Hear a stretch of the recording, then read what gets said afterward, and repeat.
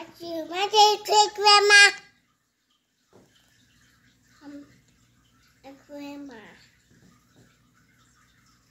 One, two, three. There you go.